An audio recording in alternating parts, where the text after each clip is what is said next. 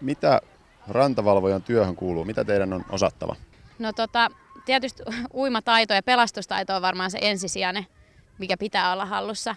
Mutta työ sinänsä on pääsääntöisesti ennaltaehkäisevää. Nimenomaan pyritään välttämään vaaratilanteita. Meillä on tietysti rantavalvojan koulutus tai perehdyttäminen, mikä kestää muutaman viikonlopun. Ja tota, kaikilla on siis oma pohjakoulutus, joko rantavalvoja tai rantapelastaja, uimavalvoja tai sitten uimaopettajan koulutus. No minkälainen on tyypillinen työpäivä sitten teillä? Mitä siihen kaikkea kuuluu? No tyypillinen työpäivä riippuu kyllä oikeastaan pelkästään siitä, että minkälainen keli on.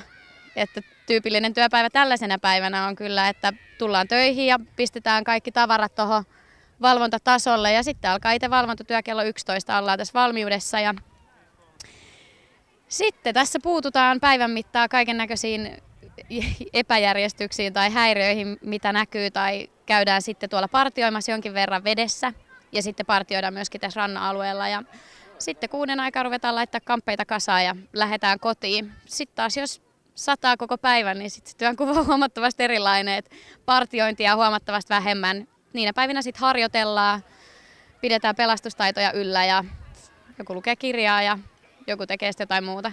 Mitä varusteita teillä on, mitä teidän työkaluihin kuuluu?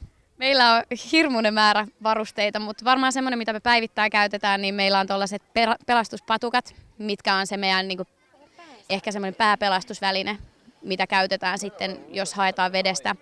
Sitten toinen, millä partioidaan aina, niin on tuommoinen iso pelastuslauta. Sillä me päästään sitten pitkienkin matkojen päähän tosi nopeasti. Ja sitten meillä on tuollainen henkiliina, mikä me voidaan itse pukea päälle ja uida sitten uhrin luokse ja, ja sitten pari tai sitten rannan niin, niin kävijät vetää sitten köydellä, niin, niin sitten pelastaja ja sen pelastattavan vedestä. Ja sitten meillä on paljon kaiken näköistä varustusta, meillä on laajalti kaiken näköistä EA-tarviketta ja työkaluja, jos niille tulee tarvetta. No entä sitten rannalle tulijoille, ihan niin, kuin, niin sanotusti asiakkaille, niin minkälaisia vinkkejä voisitte antaa? No järki mukana, kun tulee rannalle. Et aika paljon näkee sellaisia sooloilijoita, ketkä lähtee sitten ampumaan johonkin tonne veneväylille ja niitä sitten haetaan sieltä. Sitten toinen juttu ehkä, mikä on varsinkin nyt tänä kesänä tullut, että et lasten kanssa pitää olla tarkkana, varsinkin jos he ei ole uimataitoisia. Että vanhemmat vahtii itse myöskin omia lapsia, että me ei olla lapsenvahteja tässä työssä, vaan ollaan toki tässä tukena ja turvana, mutta et se on kuitenkin omien niin vanhempien tehtävä sit vahtia niitä uimataidottomia lapsia.